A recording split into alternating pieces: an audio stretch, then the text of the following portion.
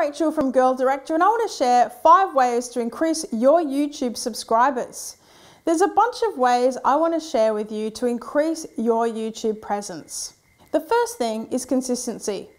Consistency, consistency. Now, many people know what they need to do, but they don't do it. There is a huge knowing doing gap when it comes to video making, even though they know it will help their business. So, I wanted to give you a bunch of things that you can do to make your YouTubes work better. The first thing, make playlists of videos so people can watch certain types of videos, such as testimonials or music videos or how to videos or video blogs it will make your channel much easier to navigate around.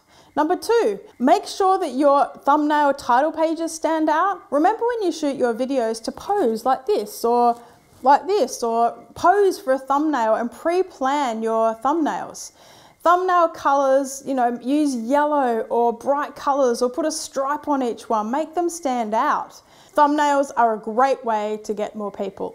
Number three, thank people who comment on your videos. Number four, post new videos every week for consistency. Five, search for keywords and use the free Google Planner to see what words are being used and search for and make videos based on those words. So hopefully those five things are enough to help you get started. Check it out, have a look. YouTube is the most amazing platform as you know, it's the second biggest search engine in the world, and there is so much traffic looking for what you have. So it's important to get on YouTube. The other thing is that I like to look at YouTube like a bottle of wine.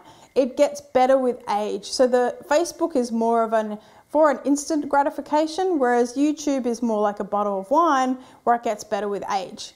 So if you want more information on how you can get better with YouTube and many other things that we share, make sure that you subscribe to our YouTube channel or follow us or email us. We'd love to hear from you. Bye.